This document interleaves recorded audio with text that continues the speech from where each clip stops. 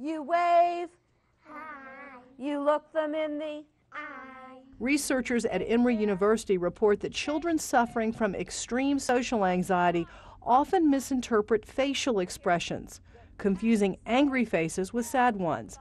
These children try to comfort someone they think is sad, but who is actually angry. While socially anxious children long to interact with others, they often get turned away, never sure why. These children tend to become and want to become invisible because it's safer than becoming visible and awkward. Researchers are working to develop better diagnostic tools and interventions to help kids with behavioral disorders master the skill of nonverbal communication.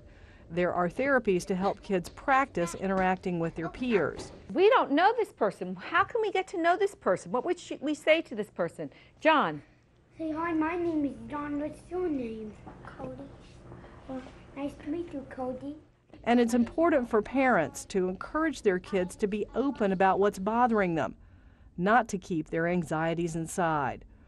A lot of people think if someone's anxious about something, you just don't mention it, and that'll make it make them feel like it's less of a problem. And it's the opposite. If someone's feeling anxious about something, the more you talk it out, the less anxious they'll they'll be about it. I'm Stacy DeWitt for Connect with Kids.